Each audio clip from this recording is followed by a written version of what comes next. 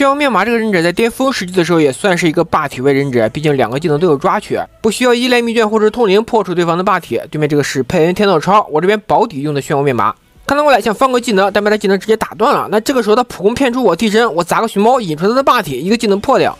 这样打完以后他替身，我们可以先顶一手霸体，他手里就没有抓取技能了。这时候就看他会不会放通灵，如果不放通灵，放了个技能的话，那我们技能刚好是抓到你后摇。快速把带走，来看最后剩一个毅力的死门凯。这个漩涡面马自从削弱了二技能的范围，并且增加了前摇以后啊，它的起手能力就下降了很多，特别是这二技能释放过程中很容易被打断。